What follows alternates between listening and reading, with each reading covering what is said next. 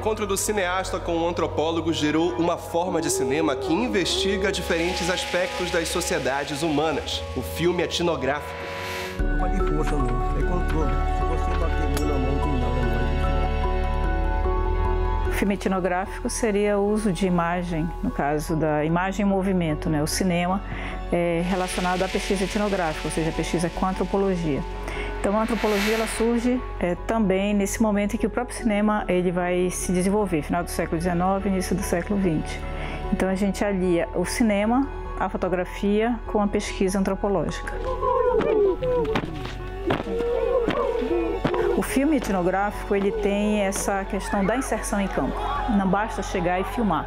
É necessário que a pessoa esteja inserida no grupo, que ela tenha já elementos para conhecer minimamente é, o que ela está pesquisando. Quando você está mais tempo em campo, mais tempo próximo às pessoas, elas têm mais facilidade de manter uma relação de confiança e mostrar coisas que, é, se a gente conviver rapidamente, não conseguiria. A gente precisa de uma aceitação lá para ter esse material, pra, não para ter o que eu quero que eles digam, mas para eles dizerem o que eles quiserem dizer. É uma troca, é preciso falar a mesma língua e é preciso ganhar a confiança dessas pessoas para que esse material ele seja o, mais próximo do real. A câmera intimida um pouco e pessoas é, é, é sem essa, essa afinidade, é, o, o processo acaba por não fluir da maneira correta.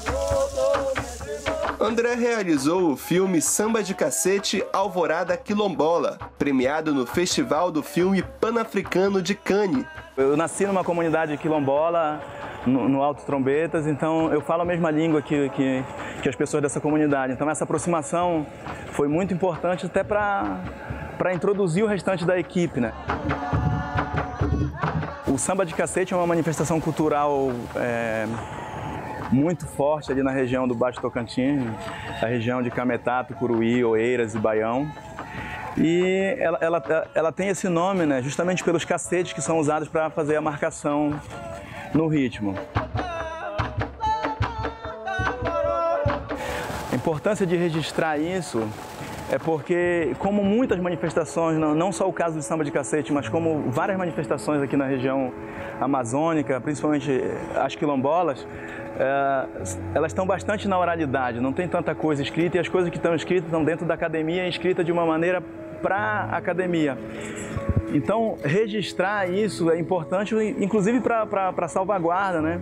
E isso tem uma importância maior ainda por se tratar da, da valorização e da difusão da cultura africana e no nosso caso da cultura afro-brasileira no mundo, né? E que dessa forma o nosso documentário ele cumpre o verdadeiro papel dele, que é de, de difundir a cultura amazônica, a cultura afro-brasileira para o maior número de pessoas possível.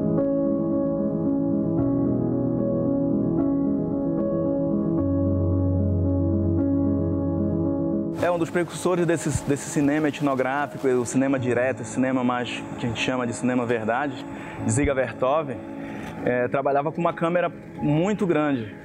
E, então ele, ele empreendia um esforço maior para se tornar invisível. Hoje com um equipamento menor e mais compacto e também que confere uma qualidade bastante interessante, a gente consegue essa invisibilidade de uma maneira mais mais tranquila do que se a gente tivesse com, com um equipamento de maior porte. Então acho que, que essa evolução da tecnologia não só democratizou o cinema, como facilitou também a abordagem.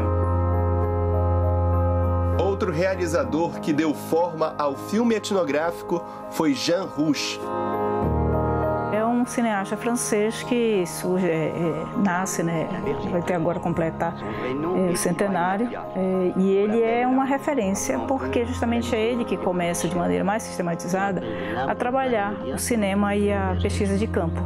É, trabalhar da maneira como a gente vai é, enfatizando não o cinema apenas, não a, a, a etnografia, mas de uma maneira que a gente complemente esse, esses olhares a partir dessa dessa inserção em campo. Né?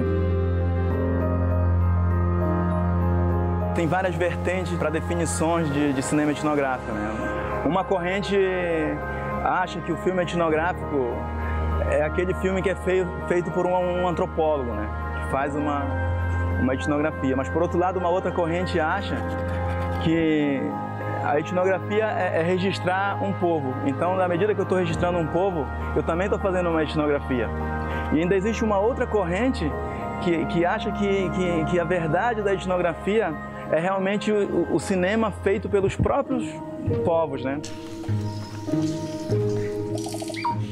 No início, a ideia do, do filme etnográfico, a da etnografia, da etnologia como um todo, era de documentar esses povos indígenas exóticos, diferentes, antes que eles iam acabar. Mas a partir dos anos 70, a gente vê um movimento, os próprios povos indígenas têm um movimento de, de valorização política, de, de reivindicações de terras, de cultura, de direitos.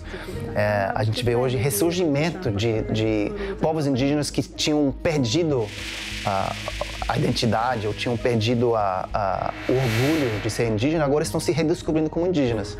E hoje em dia, existem, é, existem vários cineastas indígenas e o um movimento dos, dos próprios índios fazerem seus próprios filmes.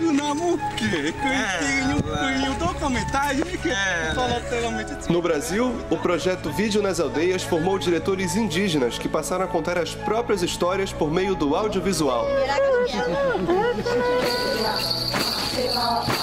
E no início houve até questionamento com antropólogos como que um índio pode usar uma câmera de filmagem? Não é parte da tecnologia dele. A, a, cultura deles é história oral, é mitologia, é xamanismo.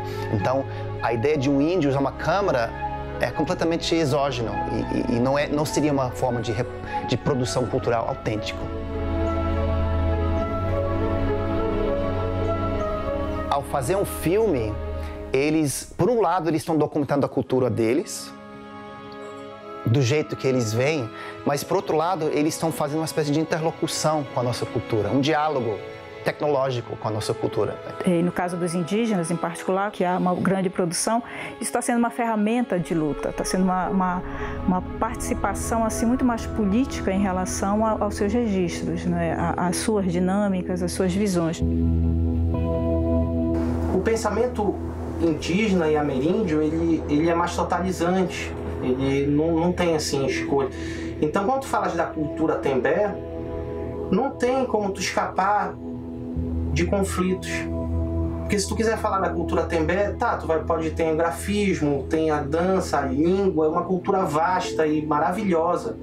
Mas tu não tem como escapar das narrativas políticas, que são os conflitos que eles passam até hoje. Depois de décadas de muitas conquistas para os direitos indígenas, a gente está vendo no último ano um retrocesso é, nesses direitos indígenas, novas políticas que estão questionando a, a, a, legitimidade de grupos indígenas. E algumas pessoas questionam muito isso, né? o uso da, da de técnica, é, que não são necessariamente aquelas iniciais dos povos indígenas, mas que fazem com que eles tenham essa inserção e valorização da sua identidade. E justamente esse tipo de discurso, ah, eles estão usando relógio, estão usando celular, estão usando roupa, estão falando português, não são índios mais e, portanto, não têm mais direito às suas terras, à sua, a essa proteção especial que a FUNAI dá. Os povos indígenas também são culturas dinâmicas, eles, eles não estão parados no tempo. O fato deles não vestiram como vestiram há 50 ou há 200 anos não quer dizer que eles deixam de ser índios.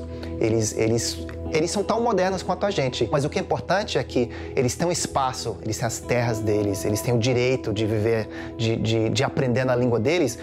E se eles têm essa integridade cultural, eles são capazes de absorver elementos da cultura, da tecnologia moderna, sem perder a cultura. E a gente vê através das produções de vídeo dos Kayapó e dos outros povos indígenas como que essa essa nova tecnologia dá novas formas de expressão cultural para eles. E eu acho que o, o, documentário etnográfico, ele é uma ele ele tá nisso. Porque se ele não é uma luta, ele não é honesto.